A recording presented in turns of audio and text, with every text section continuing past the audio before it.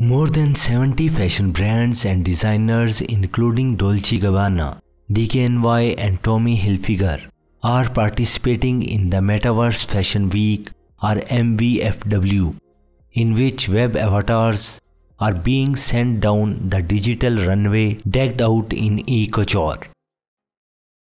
To date, the people who are live now, for example, in Metaverse, uh, DKNY, Tommy Hilfiger, a whole bunch of other people. Um, StockX claims that they're, you know, have they're selling NFTs of sneakers as well. The common practice is once a person takes possession of that, let's say uh, Tommy Hilfiger, and they go into the metaverse and buy a pair of jeans, and what they're doing is buying an NFT from Tommy Hilfiger. The event is being hosted by 3D virtual platform Decentraland and is running from Thursday through Sunday.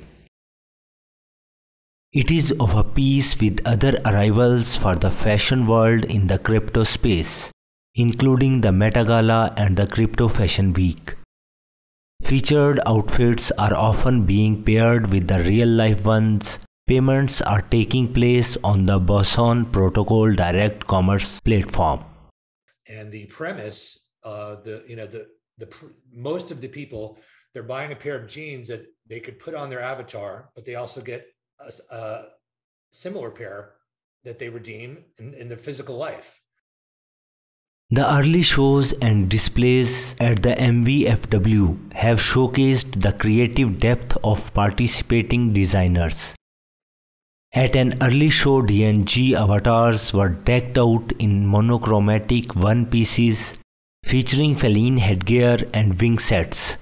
DressX's avatars donned hologram based outfits. Participating designers see the event as fitting as world growing ever more remote with the Mary J. Blige outfit that we did for the Super Bowl, you know, these outfits are these fantastical looks that people are never able to purchase and never able to try on. And we thought, well, how do we take this look and make it um, reachable for people to be able to to wear them in a digital world? And that means you would be able to. So for a wearable, you're able to take a photo wearing wearing the look that you'll be able to post to your social media.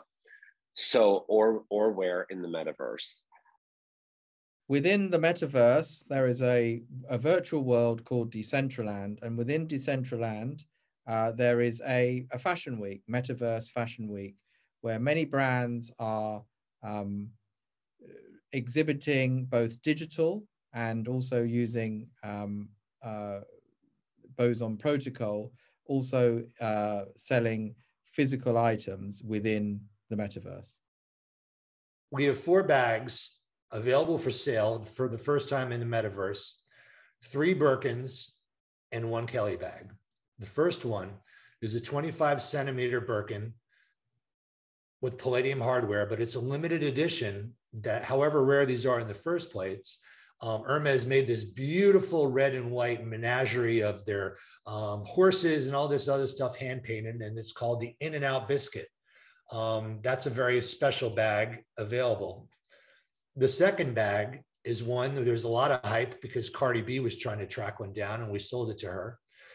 Is a 35 centimeter Birkin and what they call is the cargo. It's made of canvas and leather trim, and it's a very unorthodox thing. As you can see, there's all kinds of pockets on it on the exterior. With Zoom, you know, we're here talking. At some point, all of us kind of got sick of having to dress up for Zooms or, you know, uh, people were wearing, you know, we, we've all seen the videos of people in their boxers and, and, and dress shirts and jackets on. I think what will happen is at some point you'll say, okay, well, I have a Zoom and I don't want to get dressed up. Let's get, let's wear, go into our digital closet and, and get a digital outfit that we can wear for this Zoom. Or we want to go into a metaverse party with our friends from all parts of the world. And what are we wearing to this? So you can actually say, oh, well, I have this in my physical closet that I really like.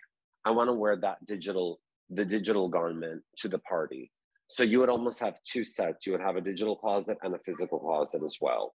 But while digital fashion is allowing designers to push creative boundaries, the event and the crypto clothing space It represents, in fact, has a democratizing effect on fashion, according to Decentraland's community founder. For a lot of users, it's their first NFT experience. They come into Decentraland, they don't even necessarily need a wallet, they come in as a guest, and then they see people wearing funky clothes and they're dressed in like the basic wearables, and they're like, hey, I want some of that. And while high end fashion in the analog world is characterized by often unreachable prices, digital fashion has a different marketplace. They don't have to have any money because there's so many wearables giveaways. You know, the, the foundation does that in every big event. We give away loads of free stuff. So all they have to do is set up a wallet and they can go on one of these quests and get their first NFT and then put it on and, and express themselves uh, in the wild.